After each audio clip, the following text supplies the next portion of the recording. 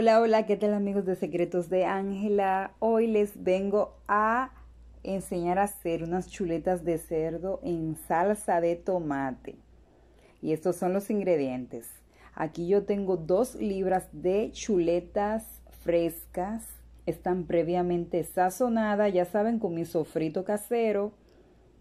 Y estos son los ingredientes que voy a ir incorporando a medida que vaya cocinando. Aquí le voy a presentar, aquí yo tengo dos tomates, tres dientes de ajo, tengo tres aceitunas rellenas, una gizón y una cebolla morada picada. Esto es una cucharada de salsa o pasta de tomate, sal, pimienta, orégano, tengo romero, una naranja o para el zumo de la naranja que voy a agregarle a las chuletas, aceite de oliva y un pilón que, donde voy a, a majar los ajos. Vamos a triturar los ajos aquí. De esta manera siempre lo hago, de una manera casera. Me gusta todo lo natural. Vamos a agregarle sal, sal molida y vamos a ir majando los ajos. Aquí están completamente triturados vamos a agregarle esta cantidad a, mis chuletas. Eso será opción de ustedes, qué cantidad de ajo prefieran. Vamos a colocar, a agregar la pasta de tomate,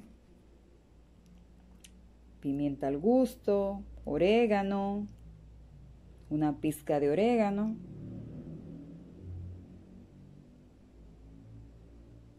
Vamos a ir agregándole la naranja.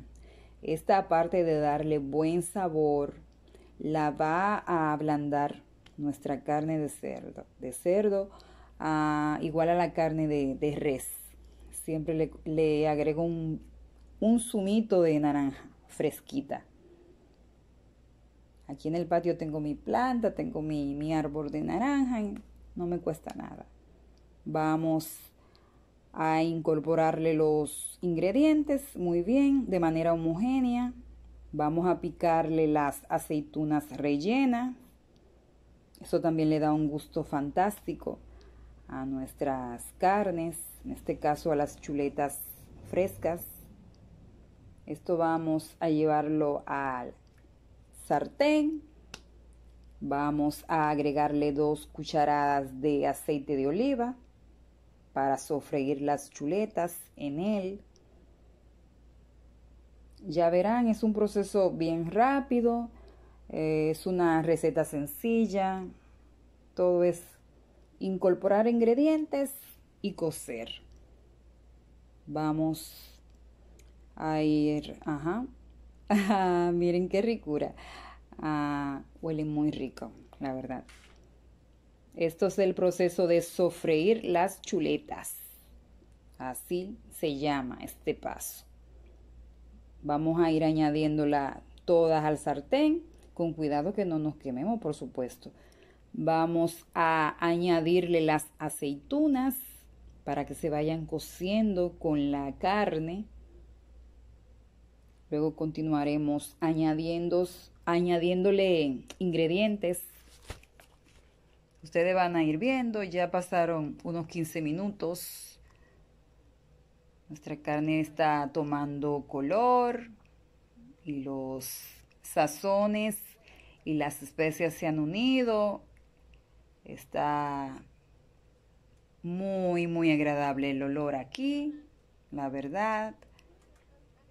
La naranja le da un, un toque excelente se los recomiendo cuando vayan a, cocinar carnes de cerdo, de res, ponerle siempre zumo de naranja. Aquí le agregué los, los vegetales, las verduras. Ah, y voy a ponerle una pizca de romero, que también me encanta ponerle romero a las carnes le da un toque y un sabor muy diferente, la verdad. También le digo, y es muy, muy saludable, por supuesto. cada uno de los ingredientes que le he puesto a esta receta son, la verdad, muy saludables y naturales, porque me encanta cocinar con verduras frescas. Miren aquí cómo va nuestra receta de hoy.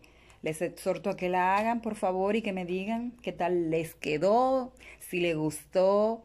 Muchas gracias a mis, amigos de Secretos de Ángela por todo el apoyo que he recibido de ustedes. Gracias, de verdad.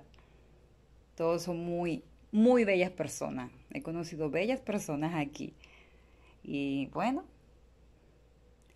estoy cocinando con una pizca de amor, siempre se lo he dicho. Miren, miren cómo va quedando nuestra carne, nuestras chuletas fresquitas. Esto está riquísimo. Vamos a agregarle media tacita de agua y esto vamos a dejarlo a miren aquí a que se haga nuestra salsita aquí ya nuestra salsa de tomate está prácticamente lista vamos a emplatar y a disfrutar ese es el paso que más me encanta, cuando yo tengo que servir esa receta y luego probarla para ustedes. Esta salsa está riquísima con todos esos sazones y esos ingredientes que ya le, le, puse, ya ustedes vieron. Vamos a probar esta rica carne de cerdo fresquita, son cortes de chuletas Miren, esto está riquísimo. Está blandita o blanda. Está bien cocida. Está sabrosa. Y le exhorto que la hagan en su casa, que lo prueben y que me digan. Y si les gustó esta receta, señores, mm, presionen la campanita. No le digo suscríbanse. Así que ya saben, mis amigos bellos, mis ángeles cocineros de secretos de Ángela. Chao, chao.